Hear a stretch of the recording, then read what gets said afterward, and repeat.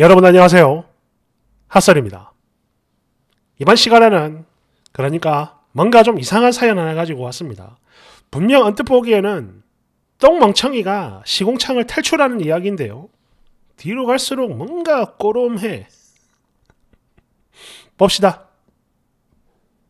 제목 옛날 마누라가 아프다고 하니까 여친이 나와 파원 때리고 바로 달려가 버리는 남자. 그래, 너 참 고맙다. 원제, 전 와이프가 아프다고 하니까 달려가 버린 예비신랑. 여러분 안녕하세요. 저는 그러니까 음, 아직 청첩장만 안 돌린 예비신부입니다. 아니, 예비신부였다라는 게 더 옳은 표현이겠네요. 오늘 파혼했으니까. 어, 정말, 진짜, 내 인생에 이런 별 거지 같은 일이 다 있나 싶은데, 일단 뭐, 제가 제목에도 썼지만, 저희 예랑이는 저랑 달리 돌싱입니다. 그리고, 전처가 아프다고 하니까, 저랑 있다가 그냥 달려가 버리네요. 참고로 저 두 사람 사이에는 아이도 하나 있는데요. 이 아이는 전처가 혼자서 키우고 있는 중이에요. 뭐, 여하튼 이런 상황인데, 저의 뭐랄까 이 멍청함을 꾸짖는다는 의미로 속 사정부터 하나하나 다 써보겠습니다. 그러니까 저희가 연애를 하겠다라고 나섰을 때 양가 부모님들의 반대가 실로 엄청나게 극심했었는데요. 네 맞아요. 바로 제가 제가 너무 좋아가지고 그냥 확 밀어붙였죠. 일단 저희 부모님이야 뭐 애 딸린 이호남이니까 그러니까 당연히 싫어하셨던 거고 예랑이네 부모님은 그 전처랑 다시 합가하기를 원해서 그랬던 건데 나는 옛날 며느리가 좋다 이렇게요. 이혼 사유는 이래요. 전날 저희 예랑이가 사업을 좀 크게 확장하면서 자연스럽게 가정에 좀 소홀해가지고 뭐 그래가지고 그런 걸로 알고 있어요. 그리고 저는 아니 남자가 사업 때문에 일이 많이 바쁘면 당연히 뭐 그럴 수도 있는 건데 아니 이 여자는 집에서 전화번호 지내며 고작 이런 거 하나 이해를 못하나 싶어가지고 참 소심하고 이상한 여자다 이런 생각을 했었어요. 아니요 솔직히 말할게요. 욕했죠 욕 욕. 특히 그런 일로 이미 아이까지 있는데 이혼을 요구했다는 게 저는 정말로 이해가 안 됐어요. 왜냐고요? 왜냐? 이 남자가 정말 정 많고 착하고 성실하고 능력 있는 남자였으니까. 또 그러다 보니까 애가 딸려있는 이혼남이라도 저는 상관이 없고 사랑을 했던 거고요. 알아요, 저도. 제가 미친년인 거 저도 잘 알고 있습니다, 이제는. 그런데 그때는 눈깔에 콩깍지가 제대로 붙어가지고 그랬어요. 뭐 어쩌겠어. 어, 그랬는데 바로 오늘이죠. 그 모든 콩깍지가 한꺼번에 다 박살났어요. 사실은 오늘은 제 생일이고 그래서 저희 두 사람이 함께 있었거든요. 그런데 제가 처음에도 말씀드렸듯 전처가 아프다 이러니까 이 인간이 그냥 바로 달려가 버려요. 뭐 본인 말로는 전처가 아니고 아픈 엄마 옆에 있는 아이가 걱정이 돼가지고 가는 거라고 하는데 아니 제가 무슨 바보도 아니고 이 순간 딱 느낌이 오더라고요. 이렇게 지내다가 나는 평생 이 남자의 첩으로 살겠구나라는 거. 그 그래서 파혼을 하려고 하는 거죠. 100번 아니요. 1000번을 다시 생각해도 파혼을 하는 게 맞아요. 왜? 아까 말씀드렸죠. 이 사람 그래요. 정 되게 많고 책임감도 강하기 때문에 저랑 결혼을 한다 해도 마찬가지. 전처는 물론이고 그 아이까지 딱 책임을 지고 잘 키울 사람이니까. 그리고 그렇게 돼버리면 저야 뭐 당연히 항상 두 번째일 게 뻔하죠. 어디 그뿐인가요? 우리 두 사람 파혼해버리면 저희 부모님 뭐 당연히 좋아하실 거고 예랑이네 부모님도 좋아할 것이며 그 아이도 좋아할 거고 또 제가 이렇게 사라져버리면 저 두 사람이 다시 재결합을 할지도 모를 일이죠. 제가 이 사람에게 마음을 준 게 3년이고 연애는 그 이후로 또 3년이에요. 그렇게 두 개를 합치면 총 6년의 시간이 그 긴 시간이 한순간에 그것도 송두리째 싸그리 먼지조차 안 남기고 다 사라져버렸어요 오늘. 여러분 도대체 저는 왜 이런 그지 같은 선택을 했던 걸까요? 이런 제가 또 한 번 멀쩡히 다른 사람을 만나가지고 연애도 하고 결혼이라는 걸 할 수 있을까요? 저는 못할 것 같아요. 그리고요, 그런 와중에 정말 제일 어이가 없었던 건, 그래, 그럴 거면 파혼을 하자! 우리 헤어져! 이랬더니, 어, 그래 정말 미안한데 그렇게 하자. 이러고 갔어요. 정말 기가 막혀 말이 안 나옵니다. 저는 이 긴 시간 동안 도대체 이 남자의 뭘 보았던 걸까요?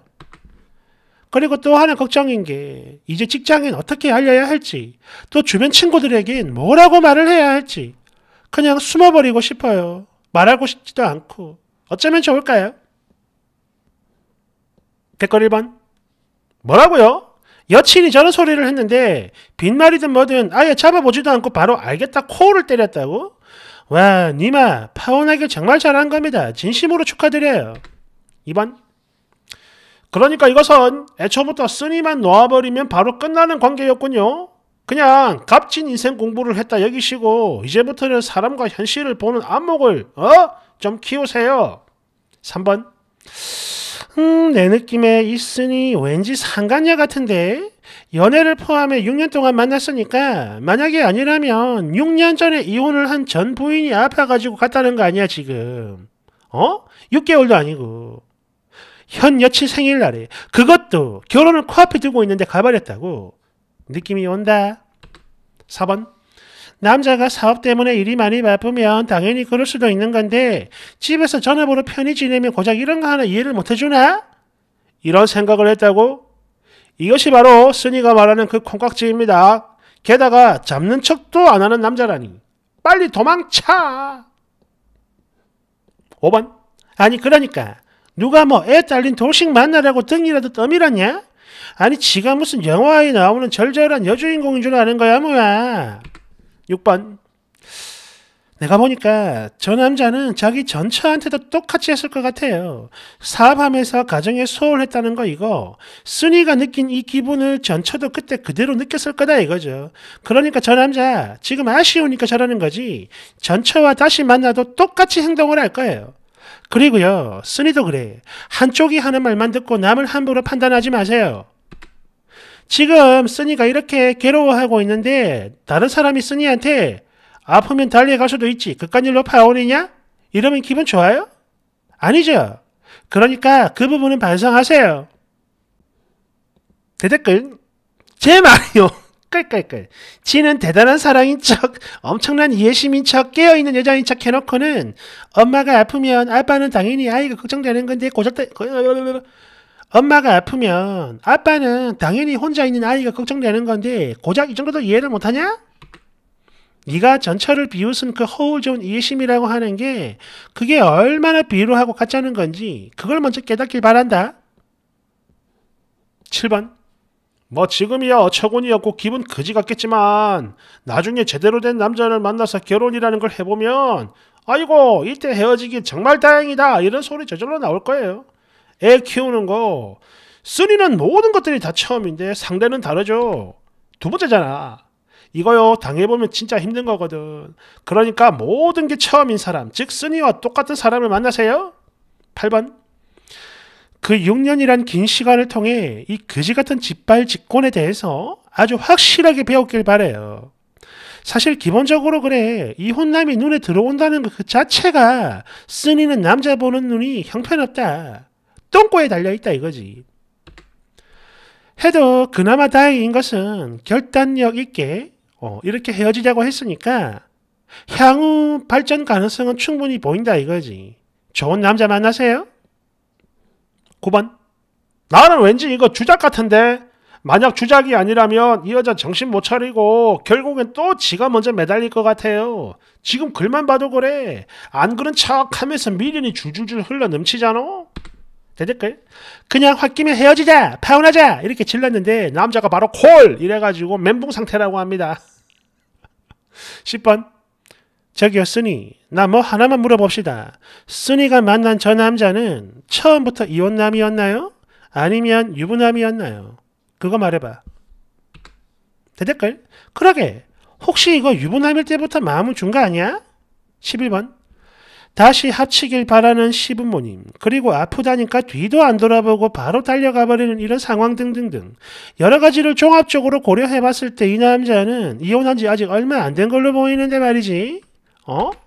저기 쓰니 혹시 상간녀 아니었어요?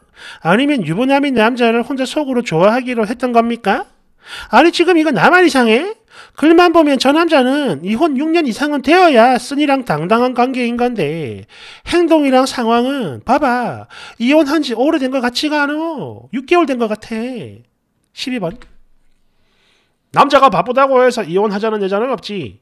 바쁘다는 핑계로 너 같은 여자를 만나가지고 연애하다가 시들해지기를 반복하다 보니까 어, 아내가 포기를 한 거지. 그러니까 시부모도 재결합을 원하는 거고 내 말이 맞지? 13번 처음엔 아무 생각 없이 쓴이를 응원하려고 했는데 이게 댓글을 가만 보니까 진짜 뭔가 이상하네. 뭐야? 쓴이 너 설마 진짜 상관녀야? 그런 거야? 그런 건가?